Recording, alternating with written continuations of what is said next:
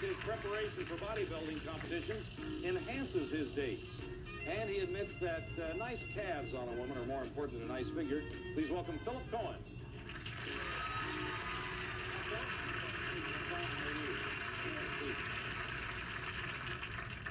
Well, tell me about the calves. What kind of calves do you like? I love calves uh, like diamonds. They really be sharp, four points, and um, very hard. I think you can tell a lot about a calves. Usually with nice calves, you really get nice legs. Well, now, does a woman have to be a bodybuilder to have calves like that, or do they just kind of come on normally? No, many times wearing heels will bring it on. Um, Wearing heels brings a lot of things. wearing heels definitely brings brings it on. Uh, calves are, are the first thing I look at though, because usually you can tell a lot about how the legs and how everything above that's going to go just by how the calves are.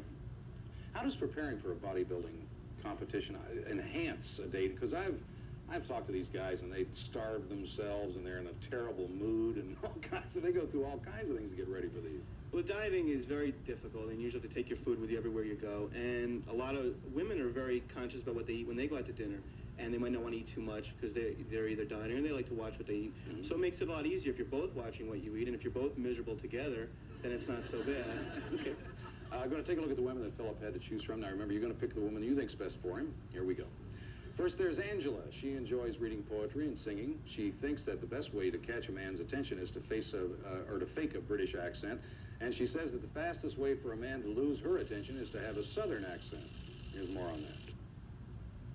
a southern accent for some reason just reminds me of a old hick somewhere out in the back barn, piece of hay in his mouth, and just know, it's nothing worse. I mean, you can see this great looking guy. He's everything you've been looking for, and he opens his mouth, and he's got this southern accent, and it just blows it. All right, next there's Debbie. She says that men with big noses need not to ask her out because uh, she'll just turn them down. She loves to laugh, but she admits that sometimes she laughs at all the wrong times. Here's an example. Sometimes, you know, you get to the tense moment of the date, he's bringing you home, you know, and he's he's wanting to give you a kiss and a hug goodnight, you know, and I, I start laughing, and what did I do? Is she laughing at me? And I'll just have to look at him, and I, I can't help it. It's just, I start laughing, or right in the middle of the kiss, I start laughing. Oh, finally, Larissa, she claims that she's a good catch because she has cute dimples and a lot of class. She admits that when she's on a date, she often chatters on about nothing, and she told us her biggest pet peeve with men. I hate it when guys just walk up to me and go, smile. Do they walk around smiling? I mean, this is, I mean, I think it's a little bit ridiculous. It's just like women are supposed to sit there on a stool and smile. Not that, I, you know, maybe I didn't want to smile at them because I didn't like them. All right. Those are the three women Philip had to choose from. Time for you to vote. Who do you think would be the best lady for him?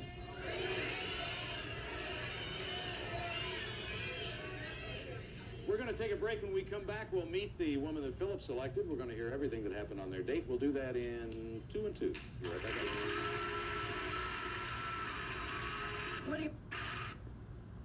Angela. She's back to the Grand Prix with us today. We're always here for a side. Say to Angela Ferris. Angela. How are you? I'm fine, thank you. Oh, are she's you? got that hair all swept to one side. Boy, oh boy. nice to see you. Make yourself at home back there and tell me about the date, Philip. Well, I get to the door, and uh, I brought Angela rose, and she opened the door, and she says, um, "Are you Philip?" And I sort of thought that was strange. I was, you know, dressed for our date as we had said, and I had a rose. How come you weren't sure? Well, Chuck, he told me that he looked like, uh, in his description, that he looked like Jim McMahon. And as you can see, I don't think he looks like Jim McMahon, do you? Um, I looked through the people, and this, he just did not fit his description. He also told me he was a bodybuilder, and I expected this great, big, buff kind of man, and, and he, he no, there, I didn't see anything buff about him. Well, Chuck, unfortunately, I saw too much buff on her.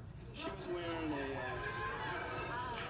she was wearing a, a very short, uh, frilly dress, which you know Wasn't we, a dress. we had planned to it's go. It's not a dress in it, and it wasn't short. Okay, well, it was short on you. Oh. Uh, we planned to go. We planned to go horseback riding. I was very. I didn't know why she was wearing this type of outfit to go horseback riding, and you know she's a beautiful face as you can see. Unfortunately, I didn't see the bottom of her on the video, and that's. You know she. Well, we can all see the bottom and the top of you, and I didn't think either part was that great. Well, then you finally got to the horseback riding. Well, we started on our way up to the park to go horseback riding. By the time we get there, it was dark, and they had closed at dusk. And He so knew that. He knew that. That That's why we were supposed to be in a hurry, Angela. Well, you didn't tell me that. How about the drive? Things get a little better on the drive or not? no, I suppose that should have been an indication. He had the stereo really loud and he's playing this rap music, and I felt like I was in competition with it. And I don't really care for rap music, but it was so loud I thought, well, it's either me or the stereo, and I truly didn't feel like shouting. And it it was also very cold in the car. And I asked him, I don't know if he didn't hear me, I don't know if you heard me or not, Philip. Several times I'd made hints that it was cold. I mean, I was goosebumped everywhere, and he didn't offer to turn it down.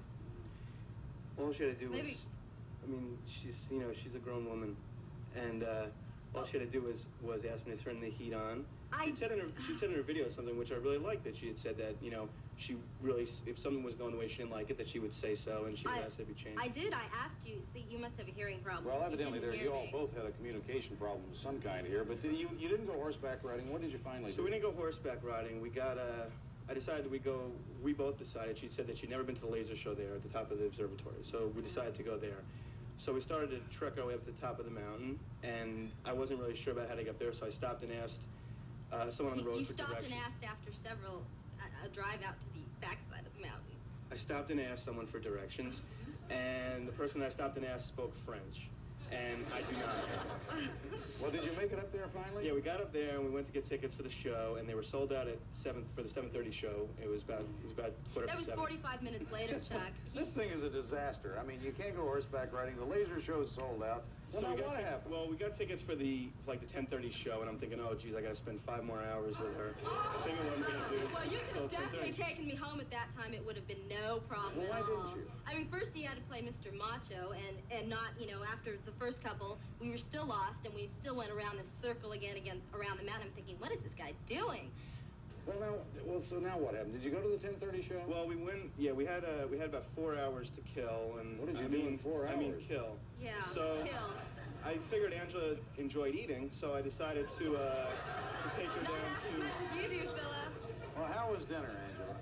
Well, he, uh, he, I told him that I don't care for spicy food, Uh-huh. and he chose a Thai restaurant.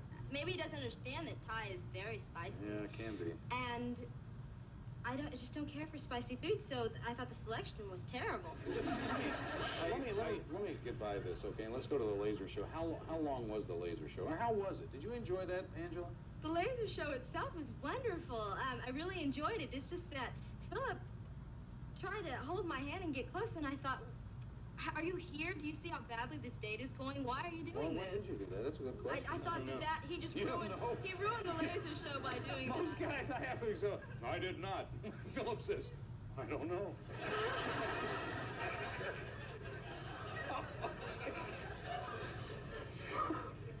oh, let's see who the audience picked. This is just a disaster. well, they picked Larissa 60%. Thank God. Big margin. So uh, you want to go out and Larissa, we'd be happy to pay for it. Maybe that's that. Well, I thought Angela was the best one out of the three, and obviously the best wasn't too good, so I think I'm going to stay on my own. Hmm. Angela, I'm sorry well, things didn't work out. This just didn't work out great for either with me, one and of I you. think Larissa's a very lucky girl. Yeah. Thanks for coming on the show, and Philip, thank you. And uh, we'll be back with uh, another couple right after this. Stay with us.